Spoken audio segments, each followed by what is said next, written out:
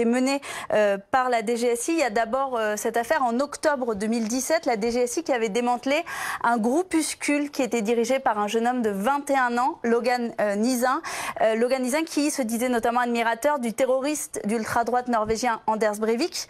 Et ce groupuscule qui prônait la remigration par la terreur, je cite euh, leurs mots, projeter des attentats contre des mosquées et des personnalités politiques. Euh, devant les enquêteurs, euh, Logan Nizin avait notamment cité Jean-Luc Mélenchon et Christophe Castaner, qui à l'époque n'était pas encore ministre de l'Intérieur. Et une autre affaire plus récemment, c'était en juin dernier, un autre groupe euh, qui s'était euh, de- prénommé Action des forces opérationnelles, qui a été visé par euh, la DGSI.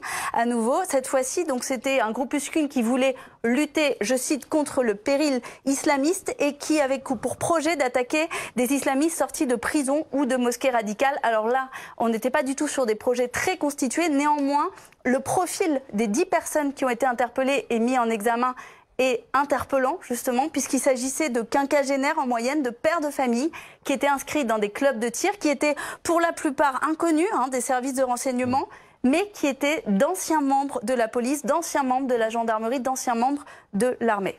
Un dernier mot, euh, Pascal euh, Bito-Panelli C'est ce que j'appelle un processus croisé. Le président de la République est menacé, mais en même temps, pour certaines personnes, il représente une menace pour la destinée de son pays, pour plein de choses. Et des gens qui partent dans des spirales et avec des profils criminels différents. Merci. euh,